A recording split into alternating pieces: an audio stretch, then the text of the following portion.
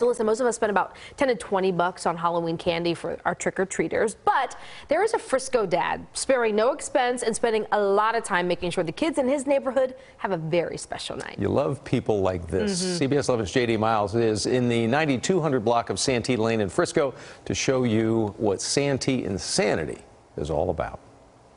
You know, I don't say this often, but this is going to blow you away. A homeowner here in Frisco is taking Halloween to a whole new level by building and staffing a first-rate haunted house.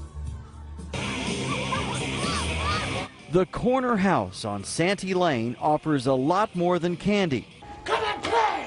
To brave trick-or-treaters. You okay? No. I, I, I'm still catching my. Like Riley Cox and Xana Osborne. That was scary.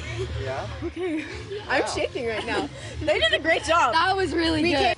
The Frisco teenagers are among the hundreds who lined up tonight outside the home of Rick Montgomery. My goal is this a long line that people want to go to and they want to tell their friends about. The 43 year old father of three has eight rooms of gloom built around his West Frisco home,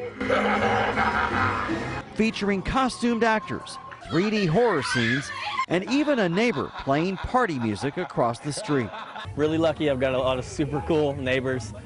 It started six years ago when the Montgomerys were just jumping out of their bushes to scare people. Now it's a $20,000 three night extravaganza. And you don't even want to know the number of man hours it takes to build.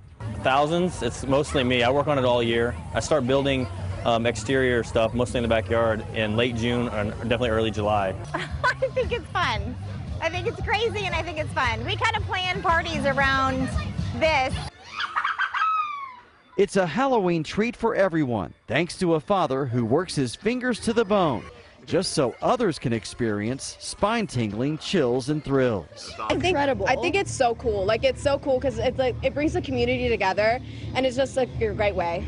I just like seeing everybody happy. It's it's fun.